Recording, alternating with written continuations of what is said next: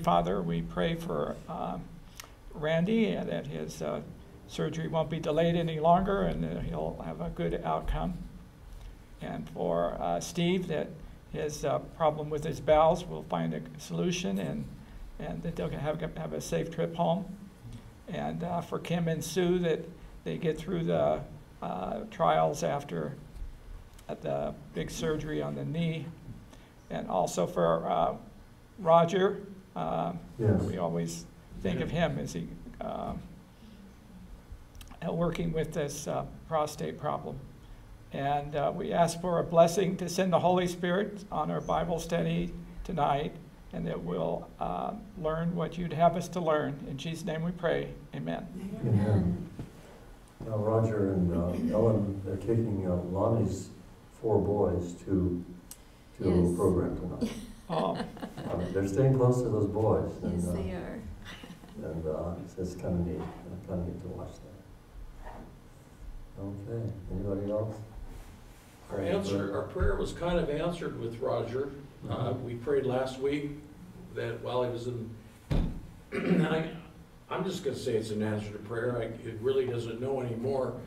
But, so he's doing the hurry up and wait, hurry up and wait. Mhm. And it's not gotten any worse, it hasn't really gotten any better, so let's keep an eye on it. Yeah, But that's good news, right? that's good news.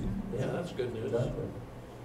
Um, As we pray for Roger, let's remember, um, you know, he would like to not have another surgery. Of course, we all have that when we're sick, but uh, something like that might happen. That'll be radiation this time instead of surgery. Okay, anybody else? Well, we've been studying kids and our Revelation nineteen. Last one we studied was verse ten. Anybody right off the bat can tell, tell me what verse ten says? Revelation. The testimony of Jesus is the spirit of Prophecy. prophecy. Yeah. Also in that same text, the angel is, uh, is uh, refusing the worship of John. Revelation 19, let's start with verse 11, 11 to 21. Maybe each of us could read uh, maybe uh, five texts. Uh, Do you want to start us off, uh, Jeannie? Uh,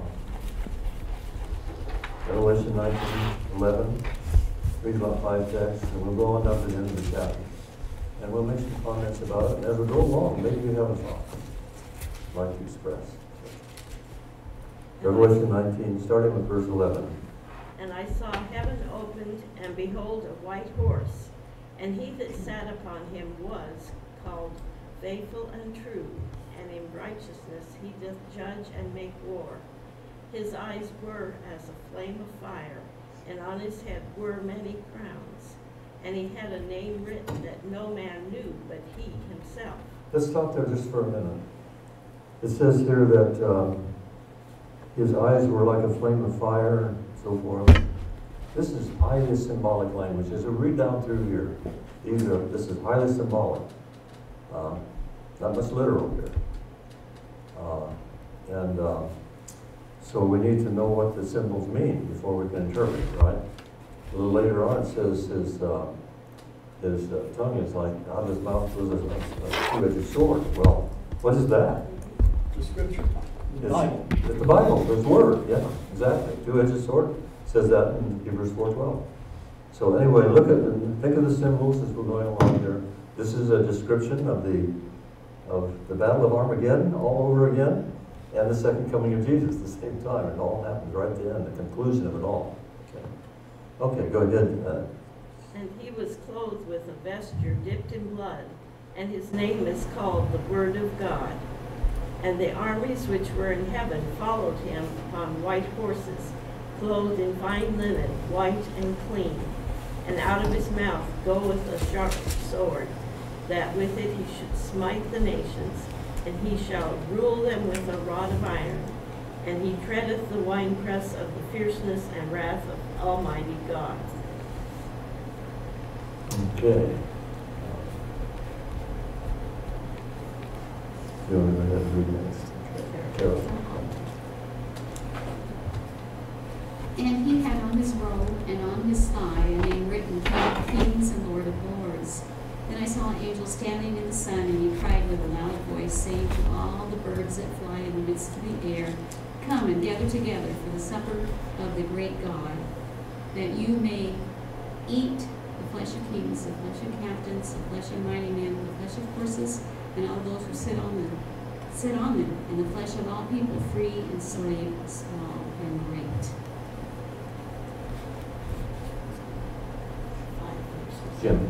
Five verses. Fifteen and five is twenty. And I saw the beasts, the king of the earth, and their armies gathered together to make war against him who sat on the horse and against his army. Then the beasts were captured, and with him the false prophet who worked signs in his presence, of which he deceived those who received the mark of the beast and those who worshipped his image. These are the two who were cast alive into the lake of fire burning with. And the rest were killed with the sword which proceeded from the mouth of him who sat on the horse. And all the birds were filled with their flesh. Okay. By Highly symbolic language. This is really another description of Armageddon. What is Armageddon? Is it uh, primarily a what? Spiritual. Spiritual battle, exactly. Now let's read some similar texts that help describe this, define this a little better. Let's go to Revelation 13, 13 and 14, and kind of compare what's written before time, before in that day. Revelation 13, 13 and 14. You want to read that for us, Rose? Revelation 13, 13 and 14. Uh, talks about the beast here and uh, the beast with the lamb-like horns, which is the false prophet, and uh, deceives the people by miracles. Okay, 13 and 14. And he doeth great wonders, so that he makes fire come down from heaven on the earth in the sight of men. And he deceived them that dwell on the earth by the means of those miracles which he had power to do in the sight of the beast, saying to them that dwell on the earth that they should make an image of to the beast, which had the wounds by a sword and did live. Yeah, this, this idea of false prophet and the beast comes up again and again. These are the prime, the, the primary actors in the Battle of Armageddon, right? And who are they fighting against? Let's look, go to Revelation 17 now. And it talks about the same, uh, same idea, Revelation 17, 13, and 14. Uh, want to read that for us? Come on. 17, 13, and 14. These have one mind, and shall give their power and strength to the beast. These shall make war with the Lamb, and the Lamb shall overcome them. For he is the Lord of lords and King of kings, and they that are with him are called, and chosen and faithful. Right. Another description here of uh, the battle against the Lamb just before Jesus comes. This is right close to the second coming. Now let's look at another one. It's the, the one that talks about Armageddon actually names it. Revelation 16. Revelation 16, 12 to 16.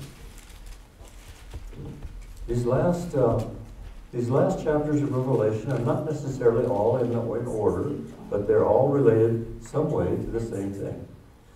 Uh, 16, Revelation 16, 12 to 16. Uh, Esther.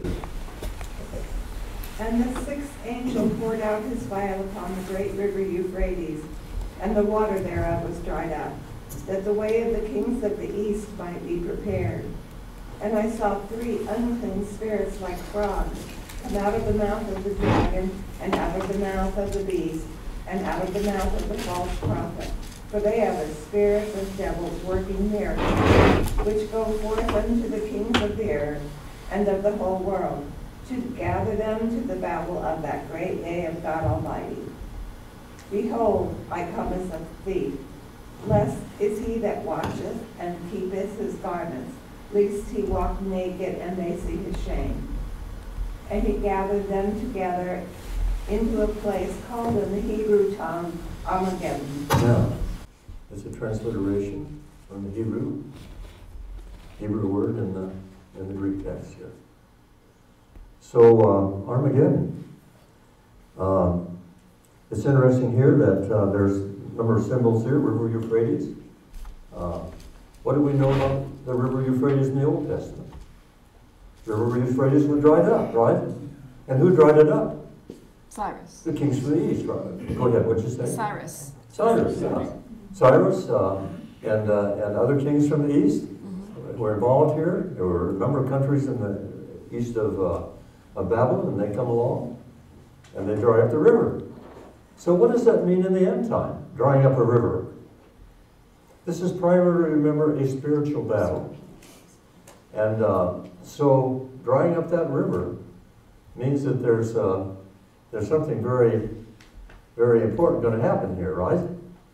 Babylon's going to be overthrown. When Babylon is overthrown, that is the result, end result of Armageddon. Is that right? And uh, God's people are freed. Let's read another text that talks something about this. It's Revelation, or not sorry, Daniel chapter 12, verse 1 and 2. It says here in this verse, watch for it. At that time, thy people shall be delivered. Are, are you interested in that at all? yes, indeed. Daniel 12, 1 and 2. Melinda, you want to read that for us? Daniel 12, verses 1 and 2. All these verses are related. This is the final conflict. And at that time shall Michael stand up, the great prince which standeth for the children of thy people. And there shall be a time of trouble such as never was since there was a nation even to that same time. And at that time thy people shall be delivered, every one that shall be found written in the book. And many of them that sleep in the dust of the earth shall awake to some everlasting life and some shame and everlasting contempt. Yeah. Two groups of people in that special resurrection, right? Just uh, before Jesus comes. So, uh, interesting ideas. We're coming close to that time. Let's read another one that's very similar to this. It uh, comes right after this. Actually, the, the seventh plague is um, comes right after this idea of the fall of Babylon and is about the hailstones. Okay, this is just about congruent with the second coming.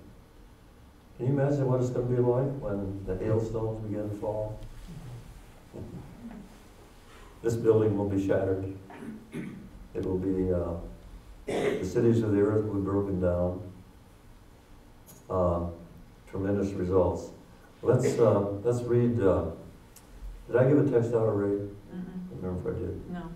Uh, Let's go next to Jeremiah chapter 4. Oh, before that, let's go to Revelation. Revelation chapter 6 and the, uh, the last two verses, 15 and 16 and 17. 15 to 17. Want to read that Marjorie? Revelation 6. Actually, we, we could uh, read from 12 onward if you want to do that. Um, this is another description of the second coming of Christ. Uh, chapter six and twelve then? Yeah, let's, let's read 12 on down to the end. Okay. Well, no, that's too, too early. 14, 14 to 17. Yeah. And the heaven departed as a scroll when it is rolled together, and every mountain and island were moved out of their places, and the kings of the earth, and the great men, and the rich men, and the chief captains, and the mighty men, and every bondman and every free man hid themselves in the dens and in the rocks of the mountains, and said to the mountains and rocks, Fall on us and hide us from the face of him that sitteth on the throne, and from the wrath of the Lamb. For, uh, for the great day of his wrath is come, and who shall be able to stand? Yeah, thank you. Let's read another one that's very, very related to this. It's Jeremiah chapter 4.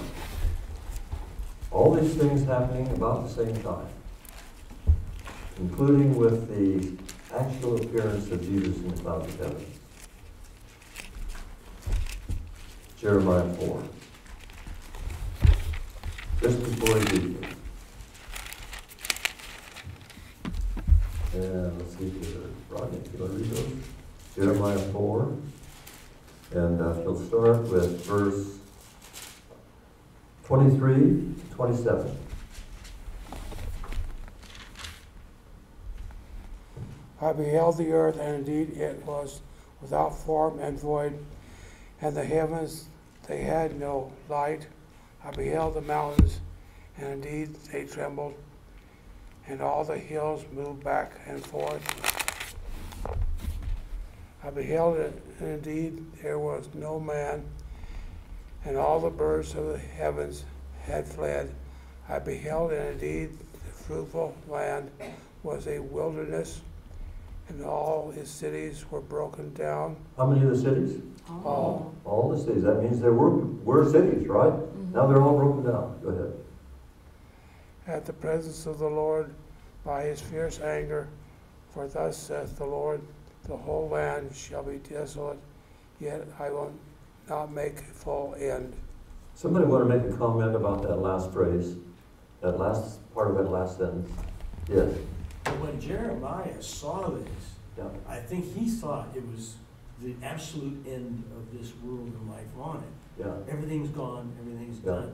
But the Lord said, ah, ah, ah, ah, ah, we're not quite done. It may look like we're done, Yeah, but there's more yet. This is at the beginning of the thousand. this is the beginning years. of it, yeah, It's been destroyed and it's gonna be that way for a thousand years. But after that, yeah, after that, Mhm. not only do we resurrect all of the wicked, yeah, but we also recreate the earth yeah, at the end. a new And earth. it'll be back to beautiful Exactly. perfection of original creation. Today I was in a Bible study and the man said, I said something about recreating the earth, and he said, no, it's gonna be a whole new earth, a whole new earth. And he really stuck on that idea.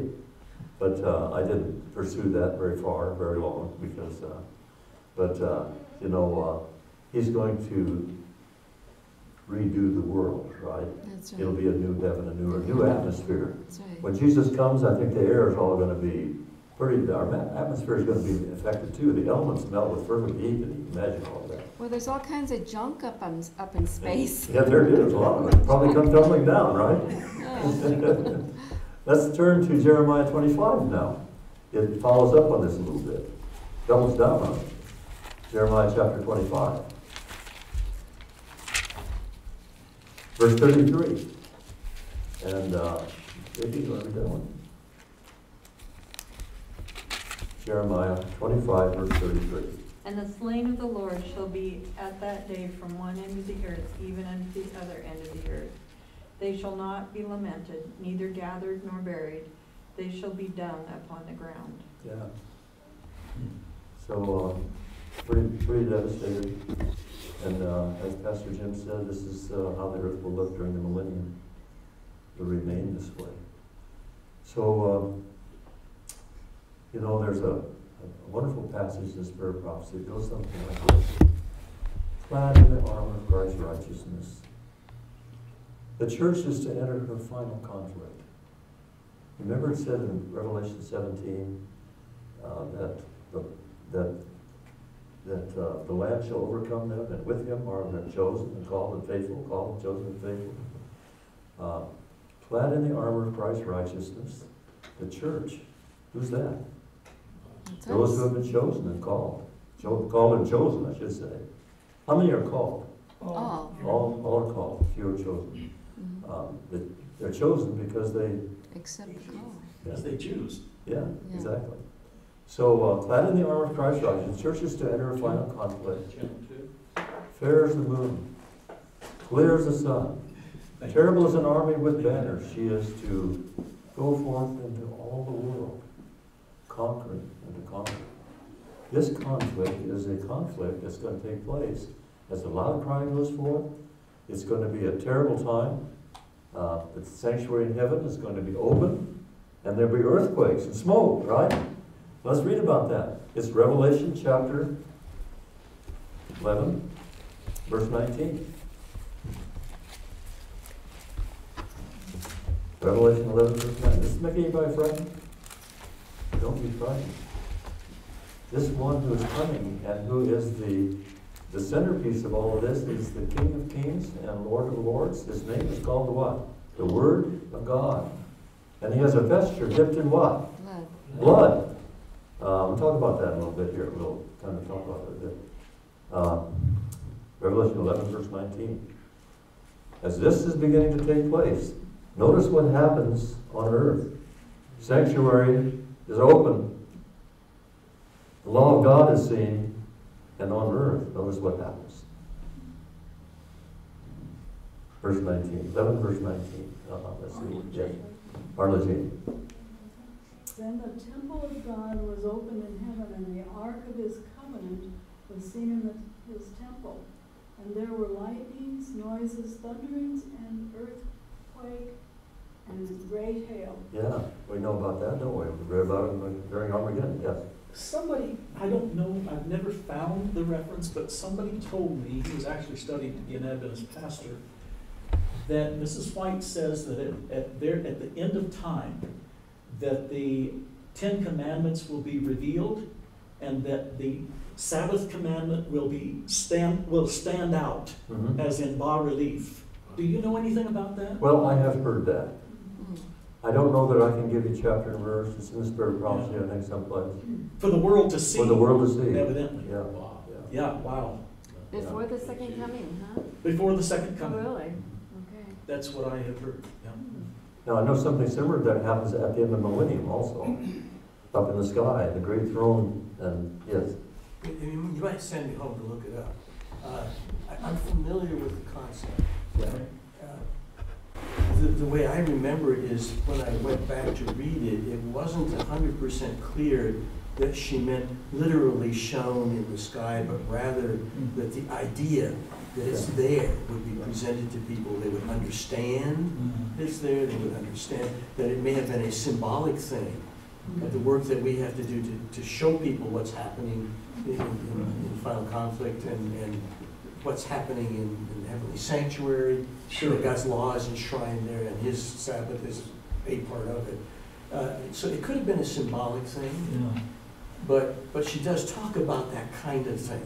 Yeah. Uh, and, and I'd have to go back and look again, and, and reading it again, I might, I might take it more literally. Yeah, yeah. Or more symbolically I, than I remember it. It's an interesting concept. It is. I mean, it would be terribly exciting to have the actual Ten Commandments shown, Yes. shown to the Oh, world, yes, oh, and the. Sabbath commandment standing out. I mean, From the sky, no From the sky, no le- no less, yeah.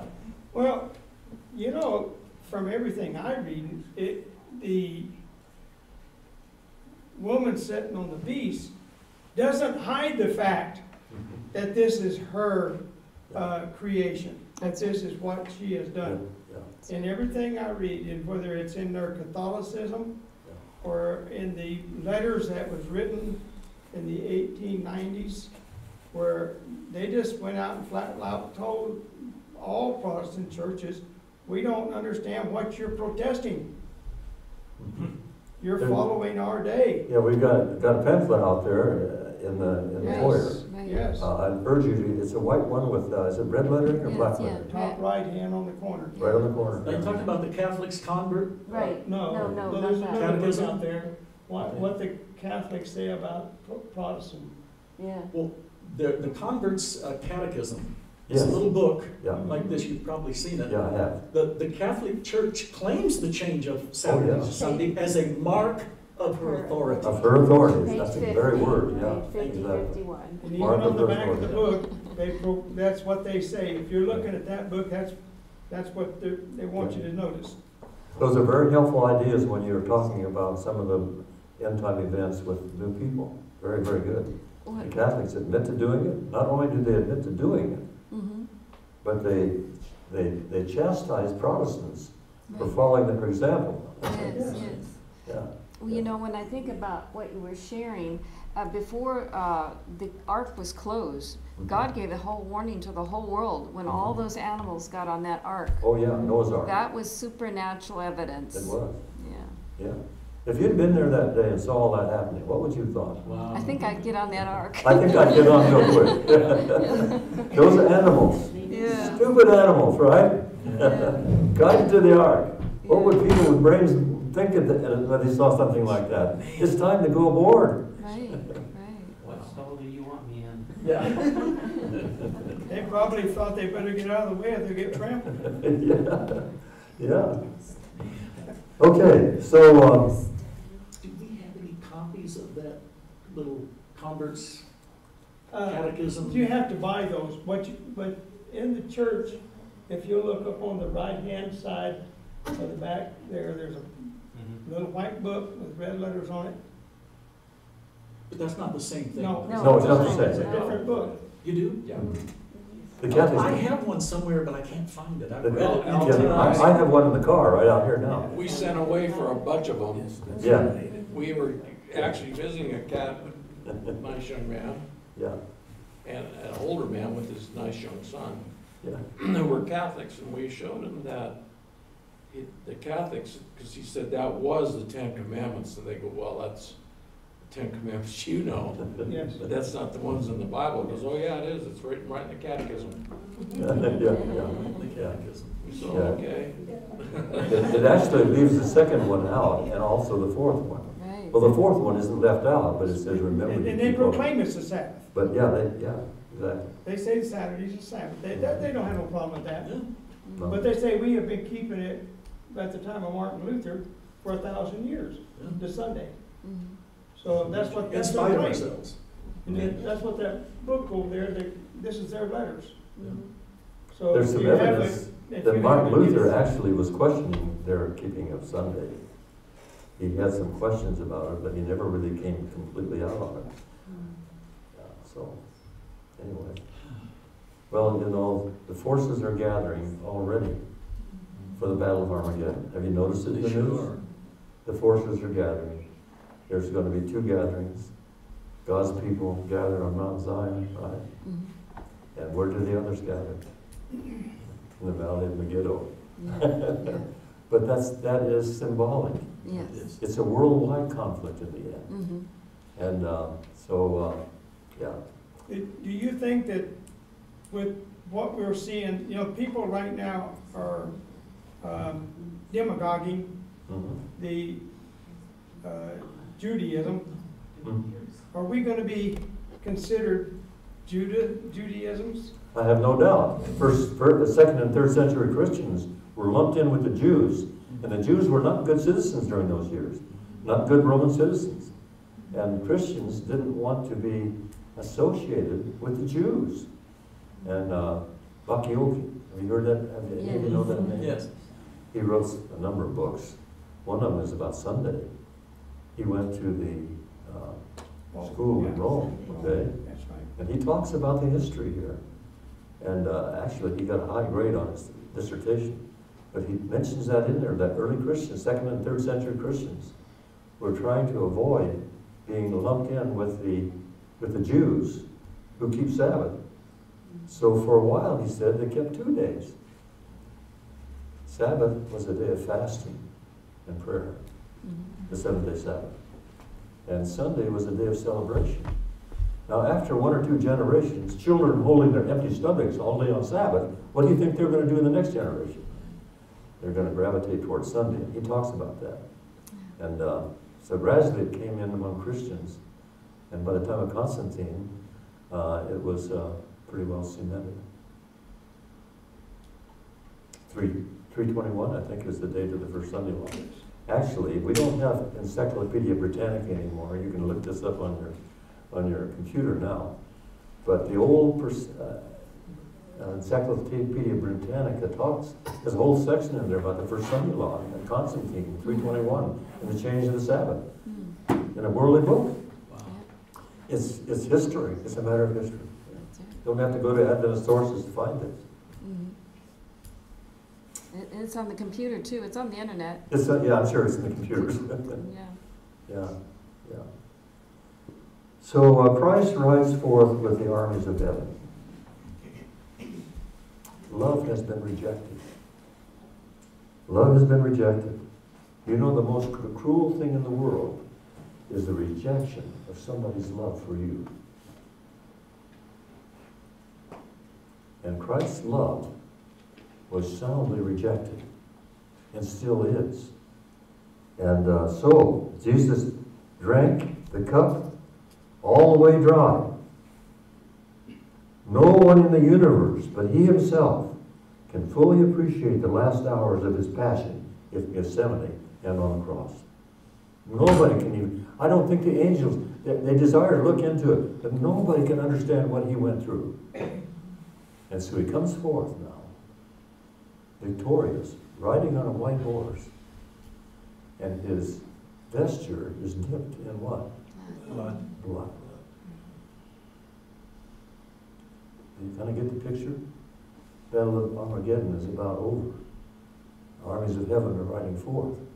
Spiritual battle.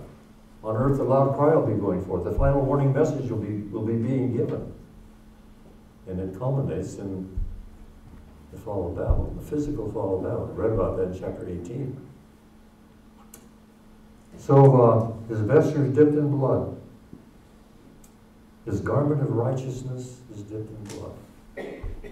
There's a text in the Bible that's reminiscent of that. Let's turn to it. It's Romans chapter 5, verse 11. I'm sorry, I think it's verse 10. See, who's next here? Um, Don. Romans 5, verse 10.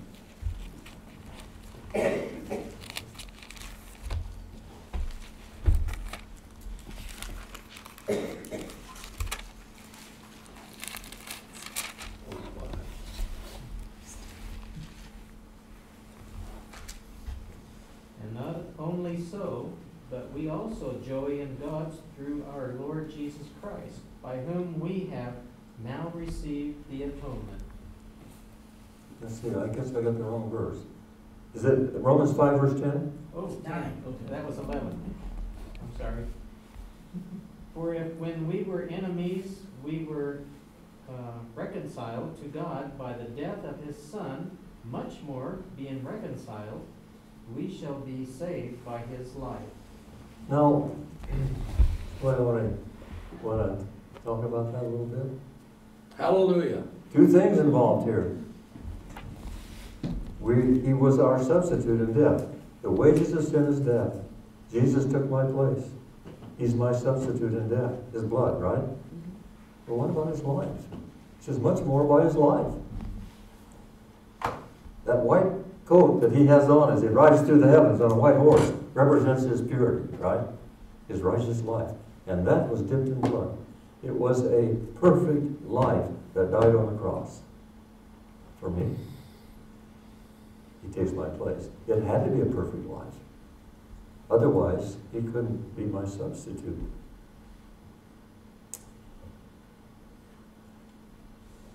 Nobody can do that except God, one who is the author of life. Yes. Yeah, there's irony in the scripture, I don't know where the scripture is, but where it says that the, the righteous will wash their robes and make them white in the blood of the Lamb. They're, they're making their robes white in blood. White in blood. Yeah. Okay. Do you happen to know that off the top of your head, that scripture? Um, yes, it's in, it's in Revelation chapter 12. Let's turn to it. I thought probably you knew it. No, maybe not. It's in Revelation though. It's verse 11. Verse 11 is close, but it's not the one you're looking for. What did you say? I just said it's in Revelation somewhere. It It is. is, it's in Revelation. Let's look at Revelation 12, verse 11. I don't think this is the one you're really referring to, but. No, it's but they, not. they wash their robes in the blood. I, I, I know, I know what you're talking about. It might be chapter 5, but anyway, um, yeah. Some of you have a computer, you can, uh, a computer about the size of a three by five car, you have that in your pocket. Revelation seven fourteen. Seven fourteen, let's read it. Revelation seven, verse fourteen. There it is. And I said to him, Sir, you know. And he said to me, These are they which came out of great tribulation, and washed their robes and made them white in the blood of the Lamb. That's it. Yeah. Okay. So, uh,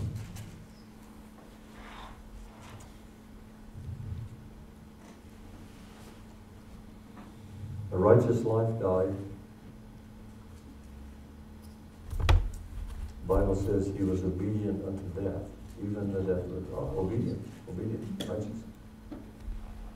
So the great armies of heaven, you know, there's twice as many loyal angels as there are as there are fallen angels. Are. And uh, yes, In verse twelve of Revelation nineteen, it talks about he has a name written that no one knew except himself. okay, And that's not clear in our culture. But in ancient cultures, even the kings of Egypt would have many names. And they would never tell you all their names. Because your name and your image and you are so closely related and interchangeable that what happens to one happens to all. Uh, and so after you're dead and gone, if I chisel your name off of your monuments, I'm getting you in the afterlife. You're accessible to me through your name. Uh, and, and so they would inscribe the names deep in the stones on, the, on their Mm. place, so you couldn't carve it off so easily. Um, and they would have a name that they never told anybody, mm. in part because if, if I know your name, I can use your powers that are represented in that name, mm. whatever magical powers you might have. I have access to it if I know your name. And so what this is saying is Jesus has a name that nobody knows except himself. Nobody holds the string on him. He's nobody's puppet. Nobody controls him. good thought. He has more in reserve Yeah, than we can understand or touch. amen. There's more there. And, and, and so it's, it's playing off those old ideas of the name you hold in reserve so that nobody can control you Mhm. or have complete understanding of you or complete access to you and who you are and what your powers are. Mhm. Uh, somewhere else in scripture, somebody asks, what is your name? And, and the Lord replies, why are you asking that? It's marvelous. It's kind of like, yeah, I'm not, not giving that out. There's some things I'm not handing over Yeah. to your knowledge because of the way they're thinking. Uh, there, there are some things that are beyond our understanding Right. and make him unique in the powers that he has, beyond what we see and can know. The name of God was unpronounceable back at one point. Well, yeah, out of respect. Out of respect, you didn't pronounce his name. But, but even, even we still think that when we call on God's name, we're calling on him and his power. Right. Uh, and, and so it's, it's related to all of that. Sure. Uh, But this, is- it's that name that you don't give out. I like your explanation. Yeah, very good. Well, one of these days, the mark of the beast is gonna be urged upon us. The first angel says, worship him who made heaven and earth and sea. Why should we ever fear to worship him? Victory is on our side. There are twice as many good angels as there are evil ones. And the word of God himself is coming. And his word goes before him. His eyes are like flames of fire. Why would we fear to worship him? Many are going to receive the mark of the beast because they because they're afraid. Because they're afraid, huh? They're gonna lose their house, they're gonna lose their car. You know, life is gonna go up right up until the second coming. There are gonna be people, like in the days of Noah, right until the day. Mhm. There are gonna be people trying to live life in a normal way, even though things are pretty bad around them. And uh, while that's going on, the mark of the beast will be urged upon people, and people will be afraid to do that. Why would we be afraid? Let's read a text, one I like it, I've read here before, 2 Timothy 1 7. Let's never be afraid to worship Jesus.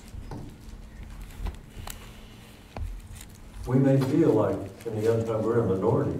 In fact, in the spirit of prophecy says it may be with our situation like we're the only one. That's right. Maybe alone. Was Jesus alone? Yes. Yes. But we need a text like this, a promise like this, to, to realize that we can be carried through. Second Timothy, verse seven. And, uh, don't know who's down the other end there, I can't see the way down. I guess it's uh, Karen, uh, Karen, yeah. For God has not given us a spirit of fear, but of power and of love and of a sound mind. Yeah, that's what we can, that's what we can, that's what we can claim. Mind, I need a sound mind. Okay, it's all good. right. So, uh, even though it may seem like we're in the more minority, you know, he's above every earthly power. He's the King of Kings, it says in this, and Lord of Lords. And uh, well able to rescue the weakest among us. The weakest among us. Armageddon is good news for the believer in Jesus.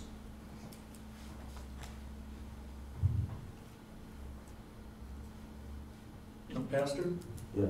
the, the world has never seen the full-out power of God. No. They've never seen it, No. but they're going to. They're going to. They're going to see it. Yeah. This is going to be huge. So the unforgiven ones will be destroyed by the brightness of his coming, which happens right after the seventh plague, seventh plague. And God delivers his people. And uh, we read, I think, Revelation, or Daniel. We read Daniel 12, verse 1. But I'd like us to have us turn to Titus 2, verse 13. Here's where our hope is centered. Uh, Titus 2, verse 13. Let's see, where are we here? Yes. You want to read that for us? Looking for that blessed hope and the glorious appearing of the great God and our Savior Jesus Christ. Shall I go on a little bit? No, whether you can go on if you want to, yeah, Well, that's okay. Um, well, this is uh, Titus two, verse, um, thirteen. Oh, I'm sorry, okay. And I was gonna read fourteen too, Yeah, because yeah, it's, yeah, it's okay. Connected. Uh, who gave himself for us, that he might redeem us from all iniquity, and purify to himself a peculiar people zealous of good works. Right. Now, this word hope, the blessed hope, this word hope is not optimism. No. This is, hope is a person. Let's read about it. It's first, it's, uh, it's, um, Hebrews, trying to call it up here. Six verses nineteen and twenty. Hebrews six verses nineteen and twenty. Hmm. Hope is a person. Looking for that blessed hope and the glorious appearing of our great God and Savior. Notice here, He's our anchor. Hope isn't just some kind of optimism, it's where hope is going to happen someday. No, this is a now. We're not hoping for something. A hope is an anchor, or it is something real and tangible. Let's see, where are we here? Uh, Jim, you want to read that one? Nine and ten, or Mhm. nineteen and twenty. Is that right? Yes. This hope we have as an anchor of the soul, a hope both sure and steadfast, as one which enters within the veil. Where Jesus has entered as a forerunner for us, having become a high priest forever according to the order of Melchizedek. Right. Hope is an anchor. Hope is a person. Give your heart to God in the morning. Make that your very first work. You will, if you do that in a meaningful way, be a justified believer. And justification is like a rainbow over us. And under that rainbow, we're given an opportunity to grow.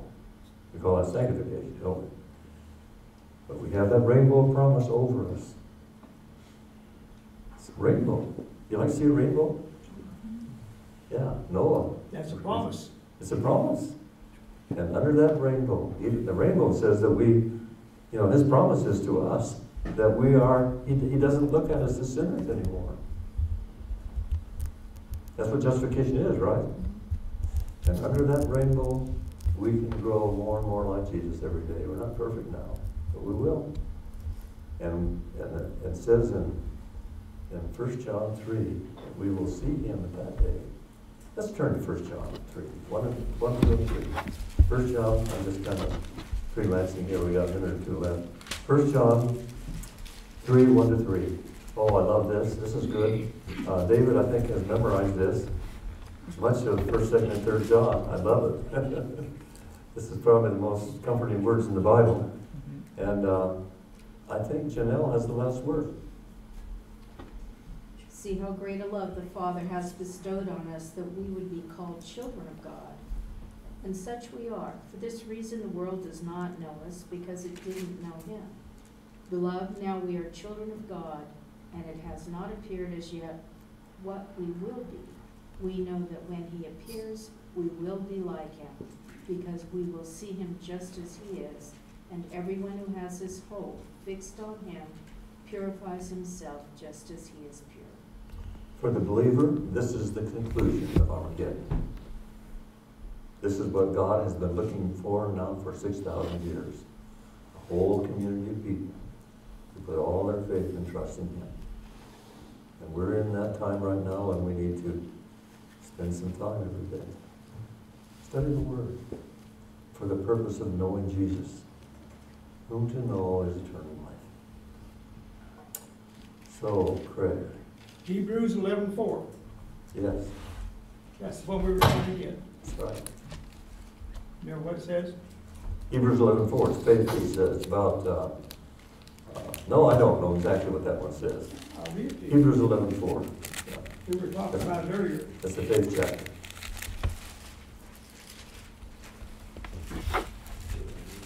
By faith Abel offered unto God a more excellent sacrifice than Cain, by which he obtained witness that he was righteous.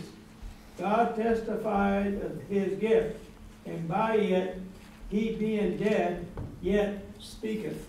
Yeah. Good. Ray, you have it all. Uh, Yeah, uh, again, linguistically, uh, in Spanish, the word for hope can also be translated as expectation, Okay? which I think is a better, really a Mhm. better word, Mhm. because we don't just hope for it. No. Oh, boy, I hope he comes. Hope is No, we happen. expect it. Yeah, It's our expectation. yeah, yeah. That's like the word fear God, when it actual, a better translation is respects Expect God. God, Yeah. Yeah, yeah, kind of like that. Yeah, so it's a, it's a noun, not a verb. Yeah, so, so I wonder, uh, Craig, would you pray for us? Wonderful Father, we are humbled in your presence and so thankful that you have chosen us at this time in this place to be here to witness for you. Now, dear Lord, give us the Holy Spirit that we might walk in your presence and do your will. Help us not to fall short of this glorious thing that you have bestowed upon us, that we might honor you, our Lord and our God. Want to remember all our members of this wonderful church that has gathered here Sabbath after Sabbath. Thank you for causing this church to grow expeditiously. And the Bisbee Church, how wonderful you have blessed Southeast Arizona. And we're thankful that your presence is coming more and more brighter and more seen here in this wonderful area. Now, Lord, as we lift you up, thank you for all that you have done for us, given us, and guided us into. And we pray that you go with each of us as we go home. But all praise goes to you, our Lord Jesus Christ, the name. Amen. Amen. This little church, sitting right here on a main street with a sign out front, is a monument to the Creator God. And this parking lot's full every week.